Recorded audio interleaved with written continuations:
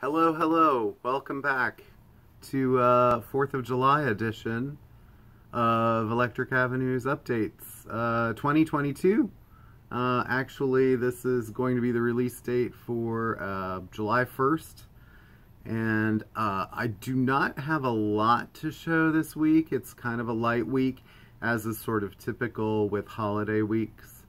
Um, but I do have another little sort of project thing here that I wanted to present, and it won't be long, but uh, more personal, I suppose. So thanks for joining me.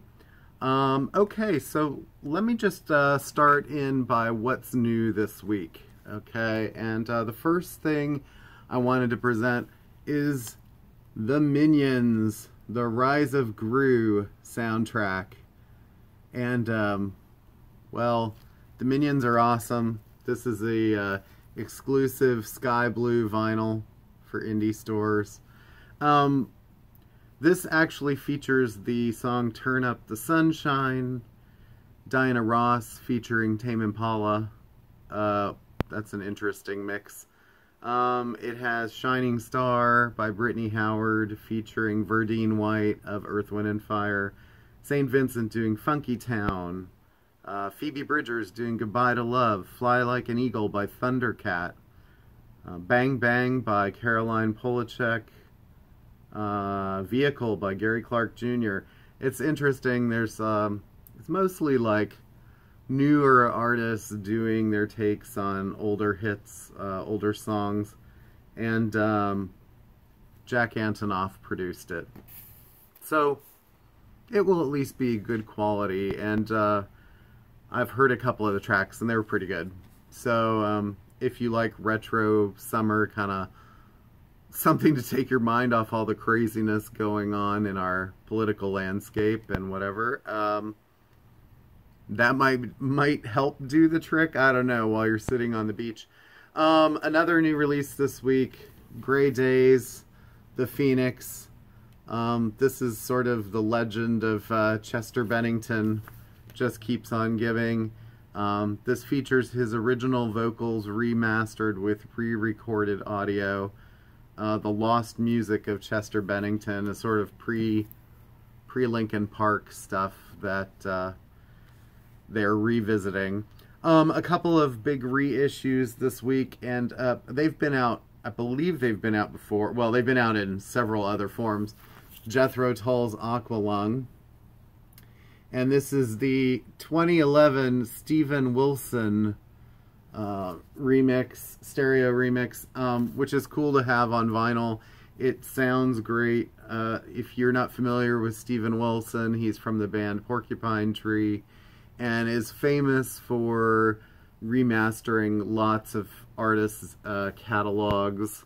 Um, everyone from Yes to uh, King Crimson, um, Jethro Tull, uh, lots of different people. So that may be of interest to people. Also, one of my favorites of all time, Roxy Music's Avalon. And again, this is an album that has been out and been remastered many times. Uh, but this is the uh, Half Speed Master Edition, 180 gram vinyl, cut from the original quarter inch tapes at Abbey Road Studios. Um, this features More Than This and the title track, both complete classics. Um, maybe that's the time to get a good clean copy of that for some of you. Um, there's a debate sort of going on about what is the um, what are the benefits of half speed mastering? Do they really sound that much better? And I hear people coming down on both sides of the fence saying, some people say appreciably better. I hear more detail in acoustic guitars and things like that. Other people say, eh, not so much. I think it really depends on which album it is and who did the work in a lot of cases. Um, it's not just the remastering process. But uh, anyway, and that being said, here's another remaster. XTC's White Music. Uh, this is, I believe, their second or third album since um, Barry Andrews is still in the picture from uh, Shriekback now. And um, this is newly cut from Masters, approved by Andy Partridge, pressed on 200 gram super heavyweight vinyl. They've been doing a whole uh, series of reissues on XTC. Uh, ironically, Steven Wilson did some of the um, earlier ones. I don't think he had anything to do with this one. Um, but it's an early record, a classic that kind of got them noticed. And uh, what, 1978 is when that came out. Uh, on a lighter note, Julia Roberts, my best friend's wedding.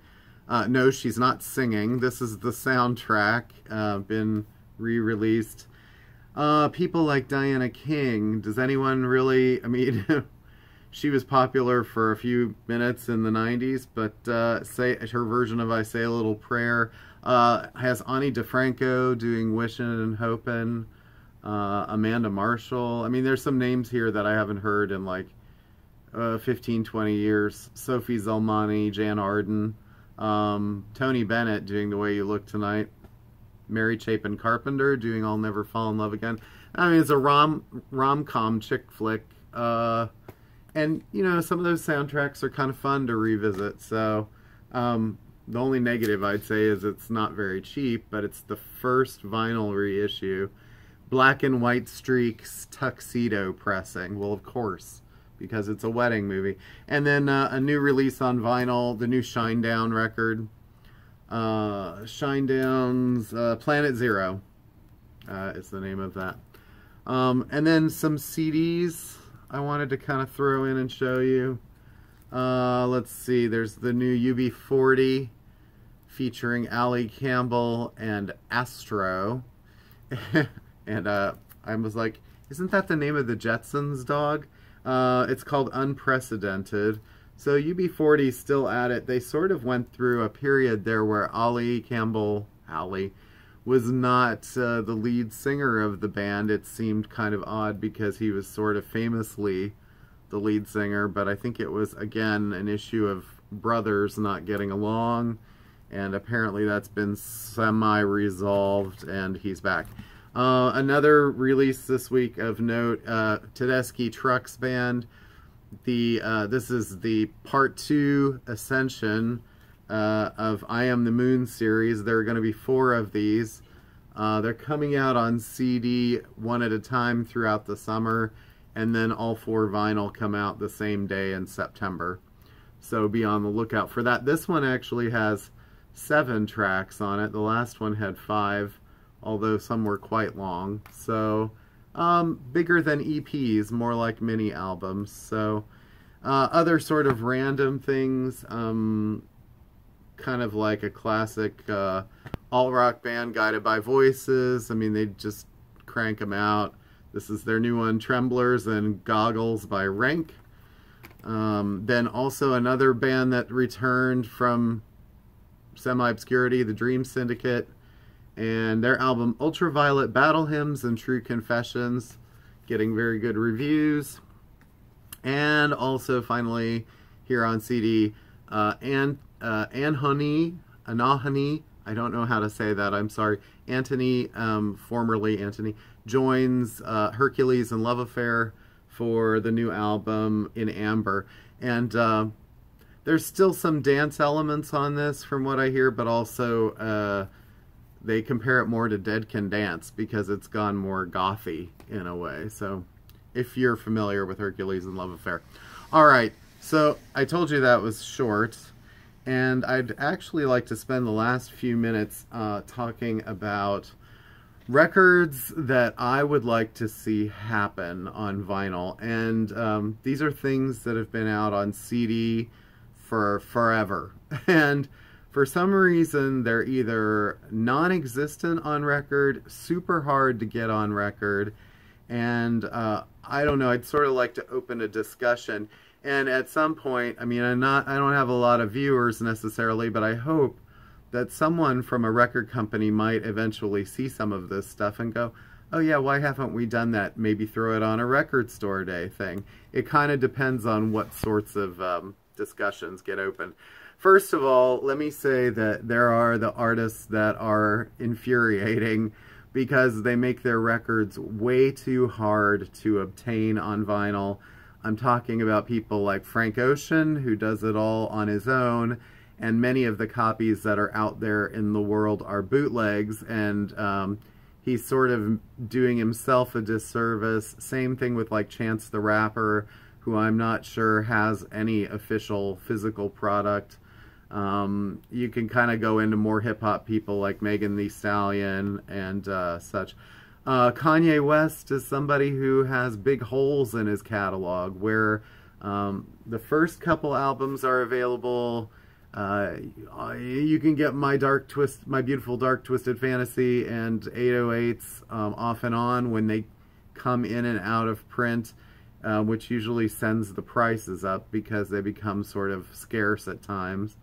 Um, and then, you know, there are certain albums like Life of Pablo and uh, Yeezus that if you see them, Graduation, those are all bootlegs out there. There are not any, as far as I know, I have not seen any official releases on those.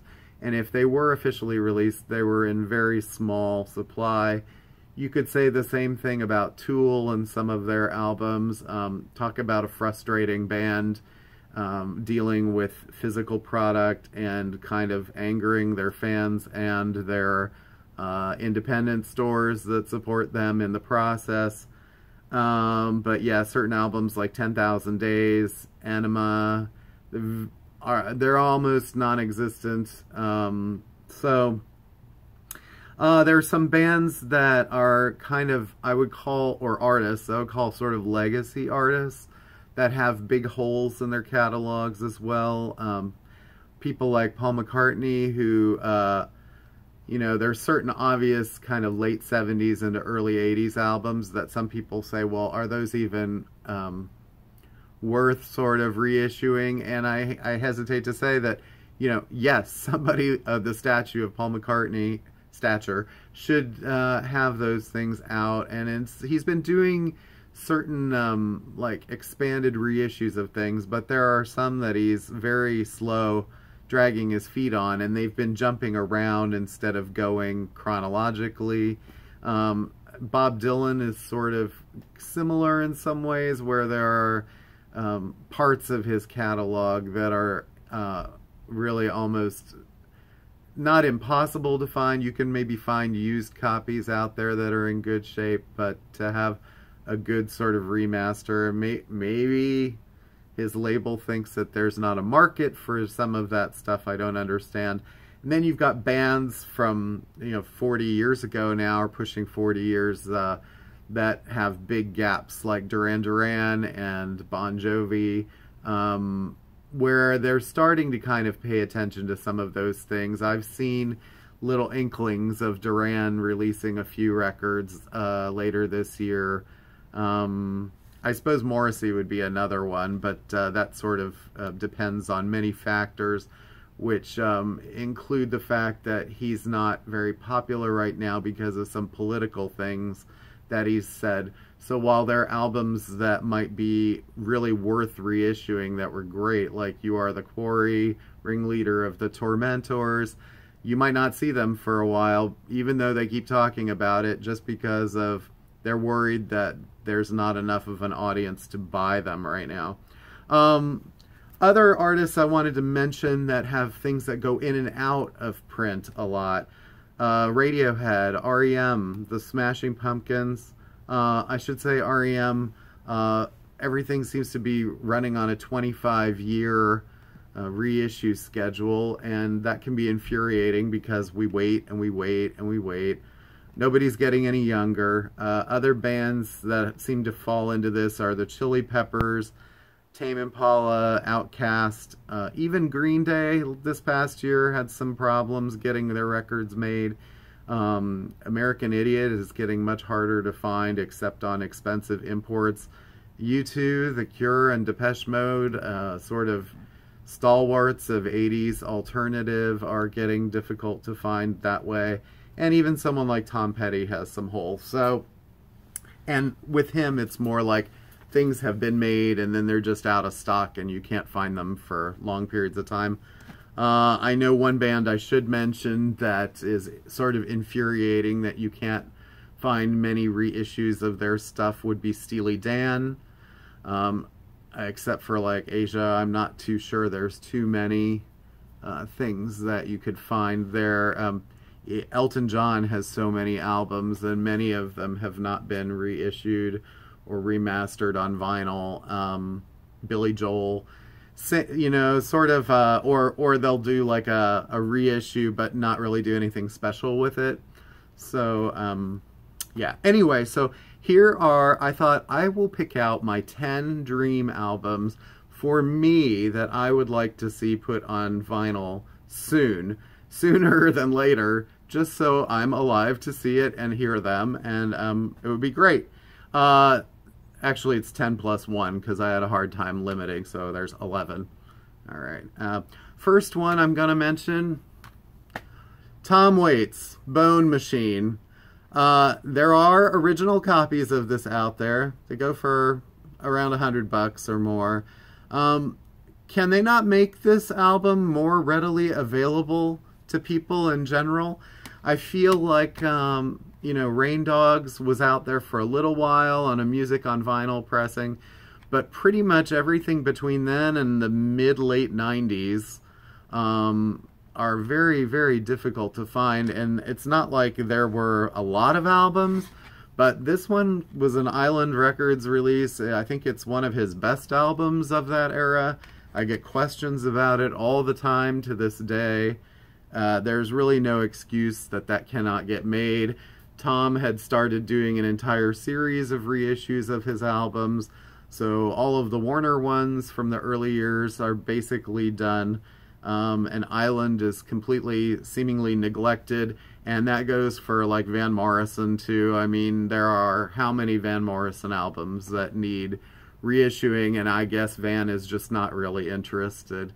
I wouldn't put Van on my list, but this is on my list, so that's my first choice. Second, Elvis Costello's When I Was Cruel. So, uh, another career artist, many, many albums. Um, and this one was from 1998, I believe, around that period. Um, they've been kind of doing Elvis's catalog, hit and miss. Um, they've been doing uh, sort of music on vinyl reissues of the Warner. I've just seen Spike and Mighty Like a Rose, and uh, uh, the Juliet letters have been listed, and um, you can get certain things and then things sort of dry up until the early 2000s and then you can start finding records again. But this was a really great album of his and it came out right around the time he did the album with Burt Bacharach and that's been available. I just think this album it might have been out there a little bit here and there, but it needs a good proper reissuing, remastering that uh, is more widely available. Um, an artist that I showed today was Roxy Music. I will show this artist, Bryan Ferry, who the lead singer of that band, and his solo catalog is very highly neglected. And this album, Olympia, is a great, great album. And um, up there with Roxy's best. In fact, it started as a Roxy Music album, and uh, I believe even people like Brian Eno contribute. Um, I guess we sort of get hung up on the band stuff and the name Roxy Music that we sort of forget, hey, Bryan has a ton of solo albums. And they did do uh, Boys and Girls last year, which was great. Uh, one of his best albums, but uh, an album that you can generally find a lot in used bins here and there. So give us something that we haven't seen. You know, I'm very fortunate that I found a copy of Mamouna, one of his other albums in a really dingy used record bin about eight, ten years ago for ten bucks. That thing is now over uh, $200 online and even with like writing on the back of it it's still worth a lot of money so and that's another album and pretty much any of Bryan's 90s albums so oh one of my favorite artists and a highly neglected album Prince the love symbol album uh, so there's been rumors that Diamonds and Pearls is the next box set to come out. We just got the gold experience finally for Record Store Day. Uh, there are other albums of his that are really great, and this is one of his best from the early 90s in that era. Um, this had the singles Seven, My Name is Prince, Sexy MF. Uh, those are the songs that I think people would kind of remember from it. But it's actually a really great Prince album, and uh, or I guess the symbol that was its first appearance as uh, on one of his records. Uh, that needs to be made, and I'm also kind of like, you know, he's passed away. Um, come on, estate. Another person who passed away, come on, estate, is George Michael. Patience. This was his really last major solo pop album that he did, uh, 2004. Um, yes, he lived for another 12 years after that, but this is a great album. Um, they're reissuing Older, uh, his mid 90s album with Jesus to a Child and Fastlove. That's coming out in uh, a week or two. And I think that they need to pay attention to Patience too. Um, because while the singles were things uh, amazing, was kind of a big hit, in the UK, Shoot the Dog and Freak were kind of big hits. But um, I think songs like John and Elvis are dead, Round Here, they're very like personal kind of songs um, that, you know, I think uh, My Mother Had a Brother, very beautiful personal songs from George, and he's no longer with us. So he and Prince and Tom Petty, I've mentioned, um, those people need a little more curation attention. Um, okay. Moving along a little bit. Um, so I think that women also in general are semi-neglected a lot of the time. Um, female singer-songwriters and uh, I don't know if like record companies just don't think that there's enough of a um, an interest in them. I see like uh, people like Tracy Chapman. Like your that first album should be in every record store, and they I don't know if they choose not to make it or if she's not interested.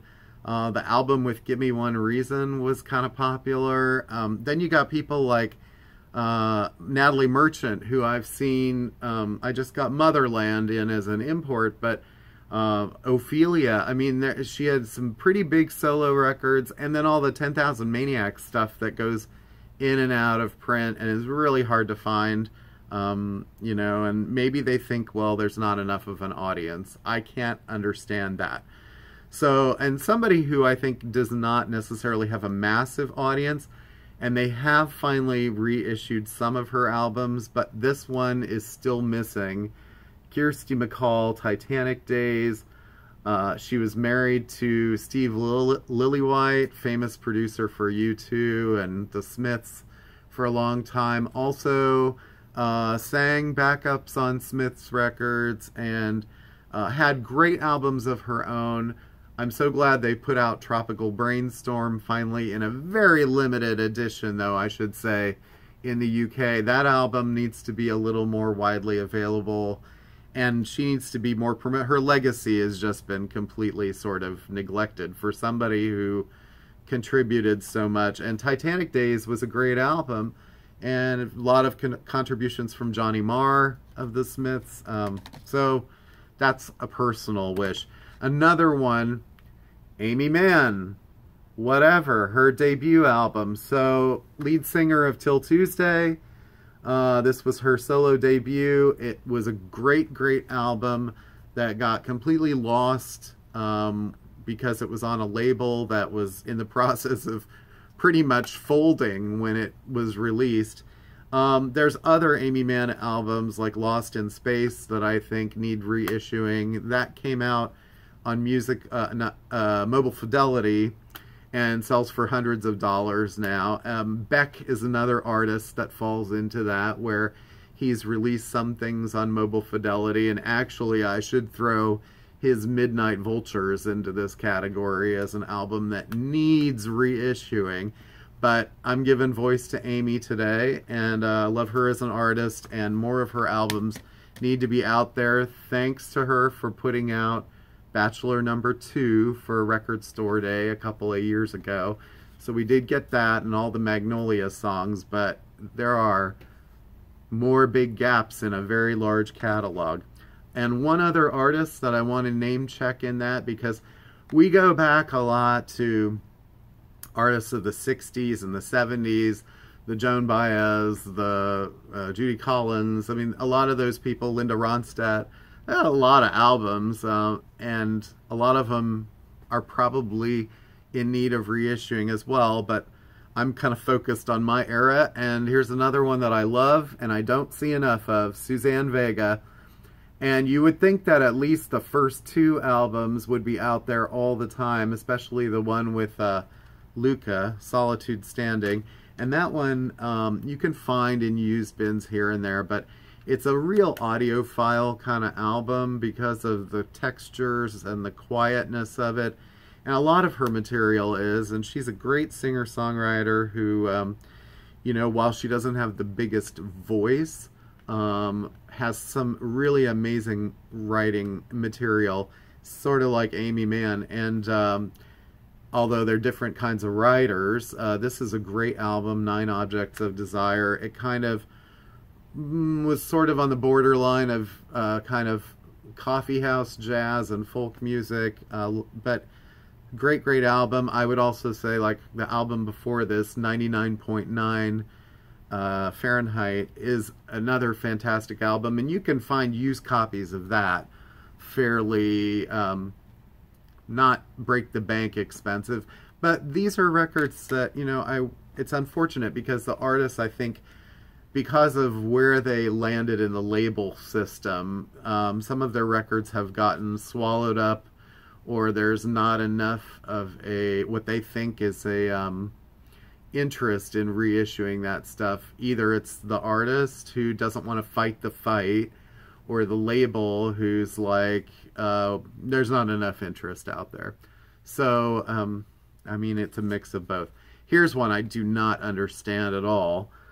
The first two Seal albums are in dire need of reissuing, and this one had the big hit Crazy, uh, also had Killer and Future Love Paradise, um, a big top 10 hit, uh, singles and album worldwide, and the second album as well, the one with Kiss from a Rose. Those two albums should be out there all the time, and as much as people focus on artists like Sam Cooke and uh, Ray Charles and whatever, you know, look a little to the future. Um, and uh, gosh, even people post sort of Michael Jackson and Prince's big era. Um, Seal was great. Now, granted, his career has been sort of like up and down. Certain albums are a little more like um, middle of the road than others, but the first two were great, and they were a little of their time. Um, had a lot of sort of like electronic influence and whatever, but uh, stunning albums. And uh, Wendy and Lisa of Prince's band played a lot on those, and they were produced by Trevor Horn. You don't get more superstar producer than that. So, another one of my favorite albums of that era is The The's Dusk.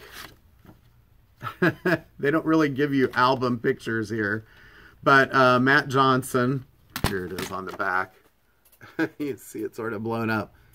Um, this album has some of my favorite songs ever written. Uh, Love is Stronger Than Death in particular.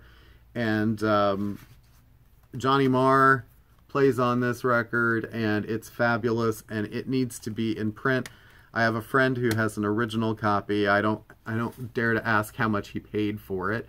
Um, but they started putting out some The The records, the early one, uh, what Soul Mining, and then it just stopped. And come on, Sony, Columbia, Epic, whatever, give us the rest of them, please. Um, I don't want to have to hunt down originals of all of those if I can help it, because um, they're also ridiculous to uh, get uh, the cash together for them in some ways.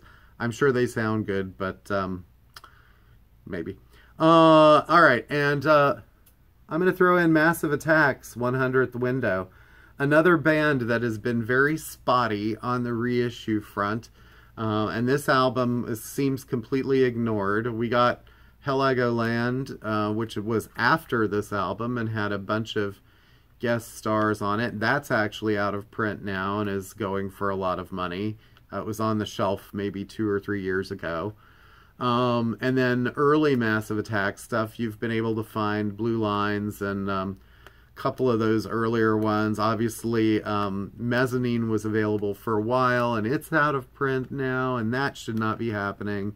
And this album, I don't know if it really ever appeared much except its first release. And there's at least three songs on here with Sinead O'Connor, some of her best, most edgy kind of writing and singing um, in a political sort of venue. And uh, it wasn't really um, a complete success at the time critically because the critics were sort of like, oh, where'd the hip hop go? This is more of like a, a quiet Nine Inch Nails sort of record. And, uh, but it's a great album.